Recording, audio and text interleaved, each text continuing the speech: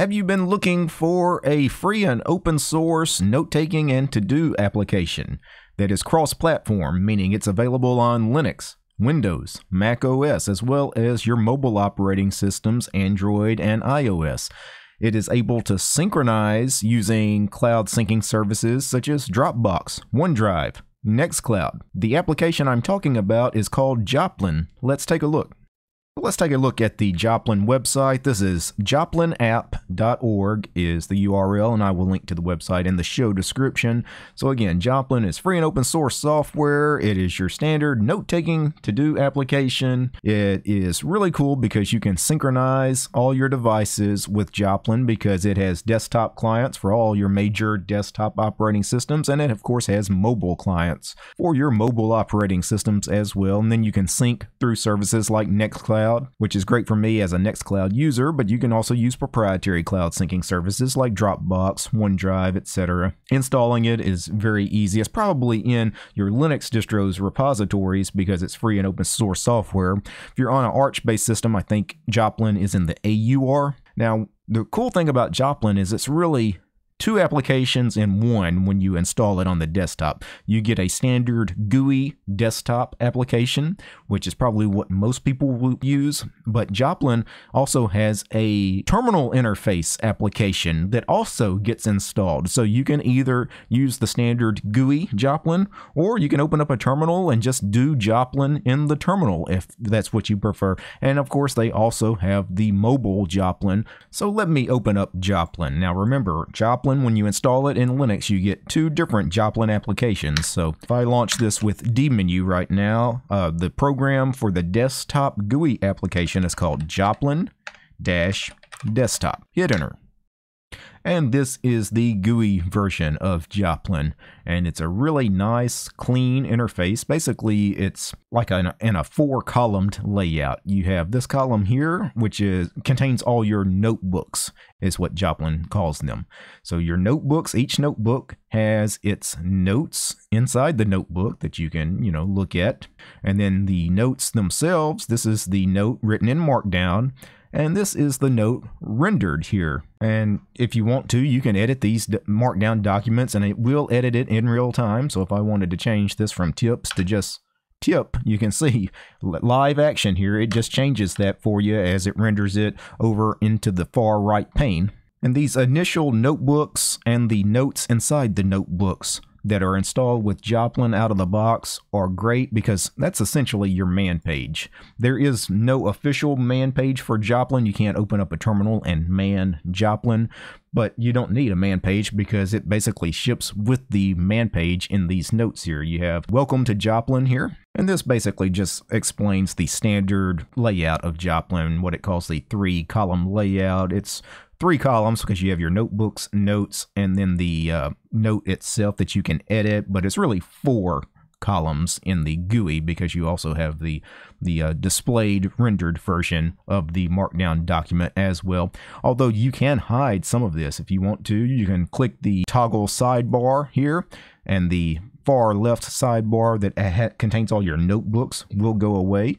You can toggle that on and off. You can also toggle on the note list you wanted to, you can toggle them all off just so you get the markdown document itself. That way you can just edit without anything else to distract you. I'm going to toggle the note list and the sidebar back on for a second because I'm, I'm going to go to the second note in the list here because this is one of the most important features is importing and exporting. Those of you that use Evernote, I don't know anything about Evernote. Um, it's not free and open source software. It's not available on Linux anyway. I, I don't know anything about it, but I know a lot of you guys that are really into note-taking apps use Evernote. And if you use Evernote, you can import your Evernote notes into Joplin. So it does have that ability. I know that's an important feature for a lot of you guys. And it also has the ability to export your Joplin notes as well. So that's a really important point. And probably the most important one is the third note here that came installed by default in Joplin is how to synchronize your Joplin notes. And it tells you exactly how to do it with Dropbox, with Nextcloud, and with OneDrive. Now, I do have a Nextcloud, so to sync with Nextcloud, all I really needed to do was go up here and under the Tools menu, you have Options. Click on Options. and you have these various tabs here. Go to the second tab that says synchronization. By default, it's going to be on Dropbox. Uh, I, of course, set it to Nextcloud. You have to give it your Nextcloud's web DAV URL, and that's easy enough to get in Nextcloud. So in Nextcloud, to get your web DAV, all you need to do is go to the bottom left when you sign into your Nextcloud and go to settings and it will give you the URL you need. That's your web DAV URL. And then once you have that, just plug that in right there. Of course, you need to give your Nextcloud username, your Nextcloud password, hit apply, hit OK, and you are good. And then from there, go to File and click Synchronize, and it will sync all of your Joplin notes into Nextcloud. Under the fourth note that is here by default, that's is called tips. Some neat stuff here that is kind of important stuff to know is, of course, these documents need to be written in Markdown, and it supports what they call GitHub flavored Markdown. So those of you that use GitHub, or in my case, something like GitLab, if you've you, have you have written some Markdown documents probably for your GitHub or GitLab pages, your README files are always marked down. You sometimes you write the license in a markdown format. So you can do all of those GitHub styled things in these markdown documents, such as the tables. Uh, if you've ever written a table in GitHub Markdown, you see this table right here is the markdown and this is the way it is rendered once it's displayed as HTML. And then of course you have your checkbox lists here. You see you have all you need to do is create these empty square brackets and then just throw an X in one of them and it becomes checked. You see milk, eggs, beer here, but the beer is checked, but milk and eggs is not checked. Whoever created that grocery list, I like them. You can also do some math expressions with KaTeX here. I, I, don't know anything about this stuff, but you can see that this mathematical expression here gets rendered to look like this over here. Let me resize the columns here just so you can it's kind of clear what's going on. You have your notebooks. I have two different notebooks here is because i have joplin installed on my desktop linux and i also have joplin installed on my android phone. And when i synced both of them to my nextcloud i have two different sets of tips. And the reason this is, is because the man pages that are installed by default here inside Joplin, you know, these standard markdowns that are already there are slightly different depending on whether you have the desktop client or the mobile client. And I'm, I'm syncing to both devices. So I have tips for both desktop and mobile here. Joplin also supports tags. You see under the notebooks, you have tags here. And basically, you can assign tags to any note you write. That way, it's just easier to search for something. For example, one of the documents here is tagged Markdown, I guess because it discusses the proper Markdown format for writing in Joplin. And why do you need tags when you have notebooks? Wouldn't the notebooks themselves uh, serve as tags? Say I created a notebook called programming, and everything I write about programming is in that notebook. And then I have another notebook about music. Everything I write about music is in that notebook. But there is the potential to maybe in the programming form, maybe I'm talking about writing a music app and you end up with tags for markdown files that are in two separate notebooks. So that's just an easier way to do some searching for these markdown documents. By the way, searching in the GUI app, there is a search bar, so you can always search for something. So I could search for Nextcloud if I was interested in the Nextcloud synchronization, and it returns the two notes that actually contain the Nextcloud synchronization stuff here. Again, it looks like it's duplicated, but it's not. One of these is for desktop, one of these is for mobile, since I'm syncing the notes from all my devices. Now, if you want to export the entire Joplin database, you can do that. You can also export single notes as well. You can, for example, export this note we're currently looking at as a PDF. You could also export everything as a HTML directory. You could export the entire Joplin database, if you will, as markdown documents. The default format, it looks like, is something called JEX, which is Joplin Export File. I don't know anything about that particular format, but it's there for you to use as well.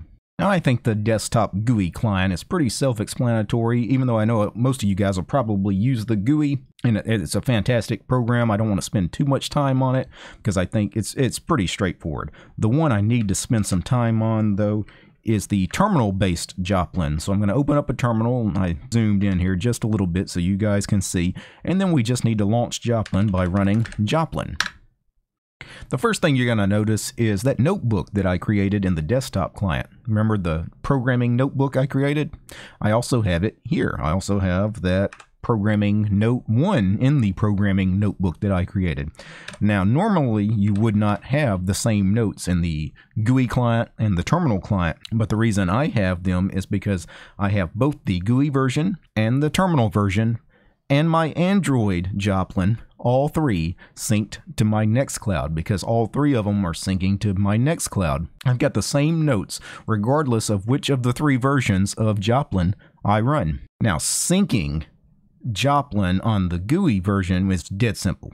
Anybody can figure that out. Getting the sync on the terminal client, I had to dig around a little bit, so I'm going to help you guys out here. The first thing you need to get any kind of help information in Joplin, there's a uh, command mode, kind of like in Vim. You type colon and then give it a command. You could type help space all, and it'll give you all the help, I guess gives you some information about sync here. Another helpful command is colon help space key map if you're worried uh, or don't know the key bindings there. Another one you could do is just simply help with no arguments. And you see we have the possible commands in command mode are all of these right here. And this one here is the one we are going to use to sync. So you need to type colon config space and sync dot target space and then the number of whatever cloud syncing service you're trying to sync to. Now, I know that Nextcloud is 5 because I had to set this up for my Nextcloud. I'm not sure what Dropbox and OneDrive are, but if I don't give it any arguments at all, I think it will tell me. Yes, so 2 is the file system, 3 is OneDrive, 4 is OneDrive Dev, and 6 is Web DAV, and 7 is Dropbox, and yes, 5 was Nextcloud. So anyway, what you need to do is run config and then space sync.target 5. And then you need to hit enter. I've already done this. And then you need to run the following three commands after you set up Nextcloud as the sync target. You need to config space sync.5 because we're doing Nextcloud in my case, but you may have a different number if you're doing Dropbox or OneDrive. And then dot path space. So sync.5.path space, and then the address, the web DAV address for your Nextcloud. It'll be something like https colon slash slash domain.com slash webdav slash. And then you need to create a folder to send all this stuff to on your nextcloud uh, i named mine joplin. Maybe that's what you're going to name yours to. Anyway hit enter. So now we've got the path to where we're going to sync everything to. Then you need to run the command config space sync dot five dot username and then space and then the username for your Nextcloud account. And then finally run the command config space sync dot five dot password space and then your password for your Nextcloud account. Hit enter, boom, you're good to go. You're synced up.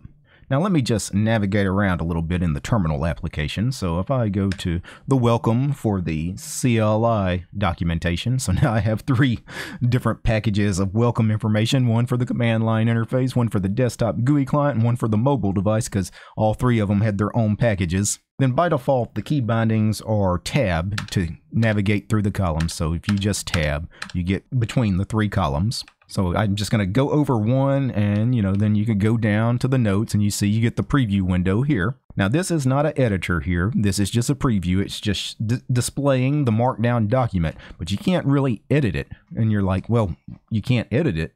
What's the point of Joplin if you can't edit it? Well, you hit enter basically on a note. So if I go down to the third note, synchronizing your notes here, if I hit enter, what it will do is it will open this in your default text editor. Now the default text editor on my machine is actually Emacs, but I configured Joplin in such a way where it's always going to open in Vim because it doesn't make sense for Joplin to open in a GUI application like Emacs or Sublime or VS Code or gedit. I mean, you can do it. And I know a lot of you guys that use the command line interface probably will do it. But the reason you don't want to do that is because when you get to a note and you hit enter, what's going to happen is now you're going to have two windows open. You're going to have the Joplin terminal window, and then you're going to have Sublime or VS Code or gedit or whatever. But if you use a terminal based editor, So we're talking Vim or Nano or the terminal version of Emacs. It's great because Joplin just goes away for a second because Vim is a terminal application. When you quit out of Vim, you just go straight back into the terminal application of Joplin. Let's talk about key bindings one more time. So again, colon to get into the command mode and then help space key map. And here are the default key bindings. Actually, these are not default. I've actually changed these a little bit. I left the defaults there, but I added some of my own. By default, to navigate between the three columns, again, it's tab and shift tab to go the other direction. So tab goes one way through the columns, shift tab goes the other way. If you're a terminal kind of guy, you're probably used to Vim key bindings for everything. So tabbing to go one way and then shift tabbing to go back the other way. You know what? H and L, right?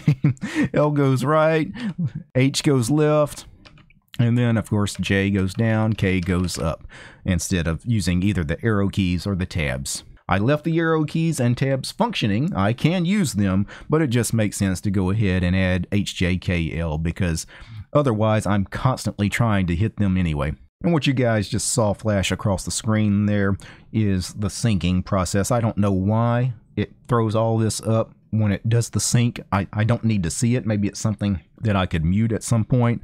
But if I hit TC to toggle the console TC, you know, all that stuff goes away. Of course, you know, the console, the help key map thing goes away too. Uh, again, TC. In my case, I remapped that because that's a strange key binding. TC. I remapped it to TT just my own personal preference. So anytime I want to bring up the console, I can get back that console that you know, had the help information for key map or TT to toggle it a little more so we can read it a little more and TT one more time just makes it completely go away. Now I said I edited my key bindings, but how do you edit the key bindings? Well, let's open up a file manager here. So I'll open up a VIFM here, my terminal-based file manager. And you want to go to your .config folder in your home directory. And in the .config directory, you are going to have some folders called Joplin. And when I say some folders called Joplin, I mean that. You're going to have Joplin, lowercase, and then you're going to have Joplin-desktop, also lowercase. But if I search for Joplin capitalized, there is also a Joplin with a capital J. So I'm going to go to just Joplin, lowercase j, go into that directory, and you have this here, keymap.json. I'm going to hit enter to open this. It's going to open in Emacs, but it doesn't matter, Vim, Emacs. And the syntax is pretty simple to uh, read here. Let me move the document so you can read it here. You have keys and then whatever you want to set the key binding as, and then what that key binding does as far as a function. There is a sample keymap.json that doesn't ship with Joplin when you install it, but if you go to the website, the default website that I'm going to link to, joplinapp.org or whatever it is, there is a sample keymap.json. Just paste that into the .config slash Joplin directory and then edit it to your heart's content. And, you can have that thing set to, to do anything. So if there you find yourself constantly running some complicated commands in Joplin, just you know create some easier key bindings for you. So how do you create a notebook in the command line version of Joplin? Well, you do colon and mkbook for make book. And then what do you want to title the book? I'm going to do in quotes, show notes, in quotes, hit enter. Now you see I have a notebook here called show notes. Now there are no notes in the notebook, but again, go into command mode, so colon, M-K-N-O-T-E, make note, space, and then this is a note. End quote, hit enter, and we just created a note. Now if you want to actually edit that note, put something in it, you need to enter the editor. So just highlight the note, hit enter, it's going to launch your default editor. In my case here, it's set to Vim. And from here, you can go ahead and, and you can do what you need to do here. Escape, right, and quit. That is annoying every time it syncs, how it, it, flashes that text along the screen. I need to see if there's something I can do about that to stop that. And one thing you need to know, anytime you want to run a command on the note that's highlighted, the alias for the note that's highlighted is dollar symbol $n. So let me run this command. Colon, R-E-N, for rename space and then dollar symbol n for rename the file that we're currently highlighting. Then in quotes, I'll type another name. End quote, hit enter. and we just renamed it. If you wanted to move it, you could MV and then dollar symbol N and then wherever it is you want to move it, move it to a different notebook maybe, maybe move it to the programming notebook, hit enter. And now if I go over to programming, you will see I have the note called another name now over in that notebook. And to delete a note, the default key bindings I think are backspace or delete, the delete key or the backspace key on the keyboard. And those are fine key bindings, very simple. But to stick to the Vim theme, what I did was I remapped it to DD, which is the Vim command to delete a line. Here in Joplin, I have DD set to just delete. So if I do DD, not in command mode, just DD, you see I'm prompted. Do I really want to delete that note? Yes or no? I'm going to choose no. To exit out of Joplin, you can colon and then type the command exit. And you're back in the terminal here. Let me clear the screen. Now let me launch Joplin again. So you probably don't want to have to always type colon exit. I remapped this to exit on either two different Vim-like commands. I could do WQ and not, not colon WQ, just WQ quits. Let me launch Joplin again. Or I can do capital Z, capital Z. So two capital Z's, ZZ. Boom. Launch Joplin one more time. And, uh, you know, that's just some, some of the basics of Joplin the desktop GUI application and the command line application. Obviously, I have the mobile application installed on my phone as well.